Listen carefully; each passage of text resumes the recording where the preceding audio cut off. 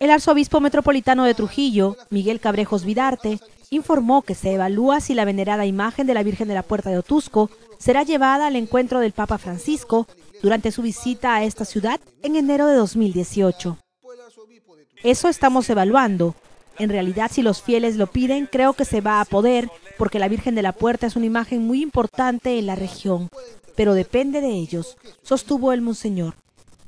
Miguel Cabrejos indicó que los preparativos por la llegada del sumo pontífice al Perú aún no pueden ser revelados, pero que en su momento se brindará la información sobre la agenda que cumplirá el Papa en Trujillo.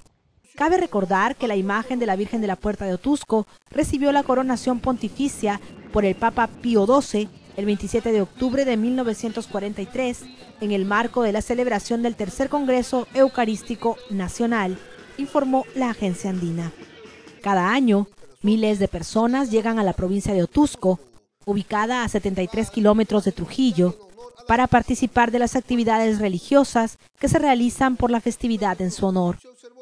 En 1985, durante la visita del Papa Juan Pablo II, la venerada imagen de la Virgen de la Puerta fue declarada Reina Mundial de la Paz.